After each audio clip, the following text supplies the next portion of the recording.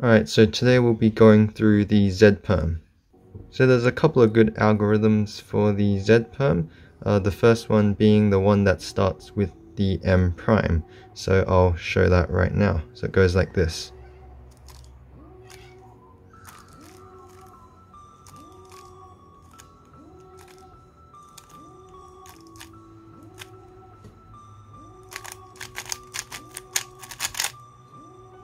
The other algorithm that you could use is the M2 algorithm. So it's the one that starts with an M2.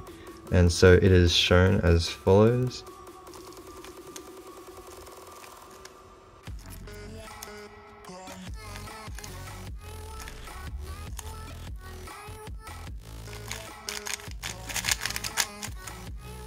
So Z-perms can be recognized as being an adjacent edge swap. So normally it's two edges that are next to each other being swapped and it's the same on the other side as well.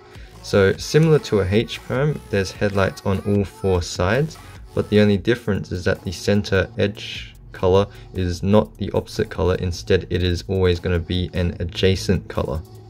So the orientation that you hold the cube uh, when you start the algorithm depends on which algorithm you use.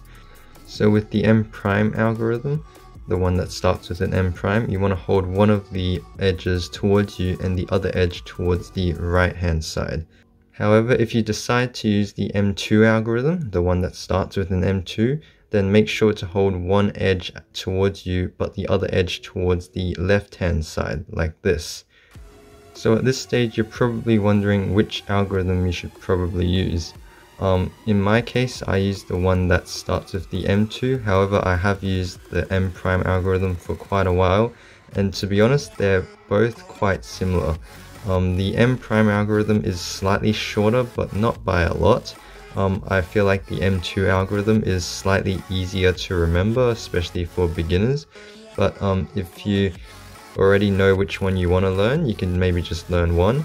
But if you're not really sure, I recommend you give both a try and see which one you like better. Um, in terms of length, speed, and AUF recognition, they're both pretty similar, and there's not really one that I recommend more than the other. But yeah, just give it a try, and um, depends on which one you like more. I also want to mention that I use my right hand for the M moves, and my left hand for the U moves. Um, so the algorithm works best when I uh, use U primes um, often instead of U's because my left hand can do U primes easier than U moves. But if you do it the other way around, so if you use your left hand for the M moves and your right hand for the U moves, then you're probably easier doing U's instead of U primes. So you can actually modify these algorithms or mirror these algorithms to have U moves instead of U primes and also the direction at which you start the algorithm also changes. So if I use the M prime algorithm for example, usually I'd start from facing this way but if I wanted to switch hands and switch over to U moves, you'd want to start off the other way. So the algorithm would actually look something like this.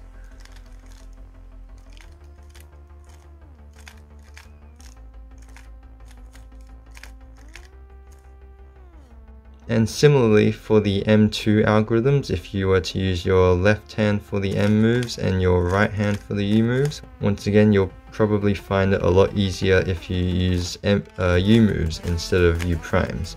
So once again, um, remember how last time we did the algorithm from this angle if we wanted to do the, U, uh, the M2 algorithm. But if we wanted to swap hands, then we'll have to mirror the algorithm. We'll have to start facing the other edge. So in this case, it'll go something like this.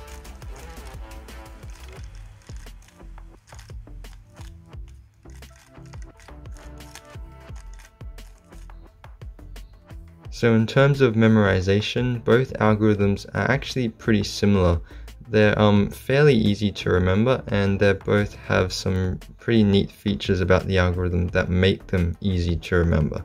So starting with the M prime algorithm, um, obviously as the name suggests, it starts off with an M prime um, followed by a U prime. So the first two moves should be quite easy to remember, M prime followed by U prime. Uh, and now you'll have to just remember that in the middle there's an M2 U prime, M2. And now there's another U prime followed by M prime. So similar to the first two moves, just the other way around. U prime followed by M prime. And by this stage you can remember that it ends off with a U2 followed by M2. Otherwise you can sort of match up the colors. You'll notice that um, these colors match up like that with a U2 followed by an M2. And finally there's a UAUF at the very end um, with this algorithm. And yeah, that should be it. So fairly straightforward to remember and I suggest you do it quickly a few times once you get the hang of it and sooner or later it will become muscle memory and it will feel a lot easier to do. So similar to the M prime algorithm, the M2 algorithm also has some pretty neat features about it that make it quite easy to remember.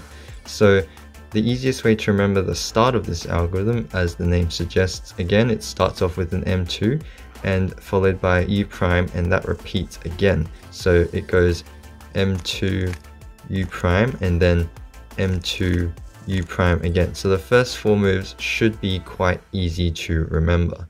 Um, after that, you'll have to remember that there's just a single M prime following that. And then this next part um, should be pretty straightforward as well. It's U2, M2, then U2. So U2, M2, then another U2. And at this very last stage, you can just remember that there's an M prime, or once again, you can match up the colors. And then this algorithm has a U2 AUF at the end.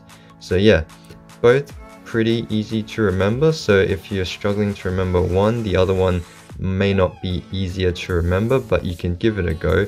Um, they're both quite similar in terms of length as well. Depends on which one feels more natural for you when you actually do the algorithm.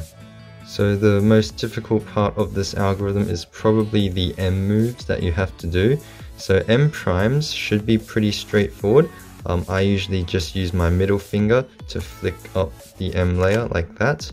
Um, after like a little bit of practice, you should be quite familiar with the M prime moves. Now the M2 moves is a bit more difficult because I do recommend you doing a double flick for the M moves. So it'll go something like this with the ring finger followed by the middle finger. And because um, it's a double flick, it's a lot faster than doing two single flicks. However, double flicks um, do take a bit more practice.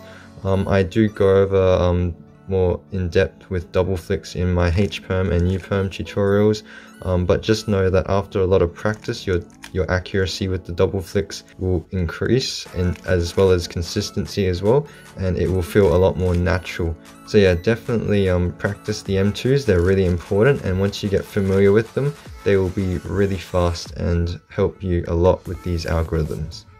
So the AUF for the Z perms are usually quite difficult to recognize because there's no really obvious color that stays still and both algorithms also have just an AUF even if you've already matched the headlights up. So the way that I re recognize AUF for this first one which is the M prime algorithm is that I look at the middle color and I'll just remember that the opposite color of this middle color will end up at front. So what I mean by that is we have a red edge here which means that after I do the M prime algorithm, orange will end up at the front here. So I have to do a U move to solve the cube. So it'll look something like this.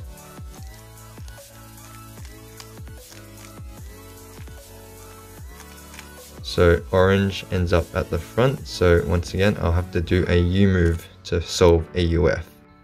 So similar to the M prime algorithm, the M2 algorithms also have a pretty weird AUF recognition technique. Um, so instead of looking at the edge color, we're instead looking at the headlights color. And once again, we'll have to recognize that it's always the opposite color to the headlights that end up at the front. So once again, as an example, we have blue headlights here but the opposite color of blue is obviously green. So green is actually going to be at the front here after we do this algorithm. So it'll go something like this.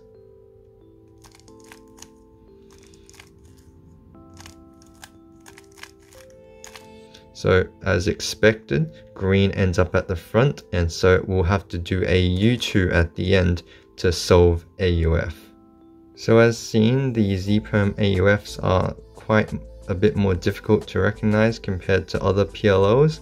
Um, honestly, I had a lot of trouble with AUF recognition for Z-perms um, when I first started as well. Um, just thinking about opposite colors just took up a lot of time and oftentimes by the time I've done the algorithm, I, I still have to recognize AUF again.